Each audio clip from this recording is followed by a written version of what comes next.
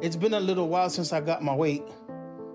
But the last time I was about 600 pounds. How much you get away? And that's where I'm expected to be at. Okay, you want to step up on the scale?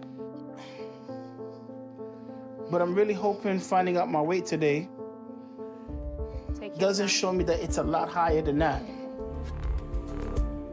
625. Your weight is 625.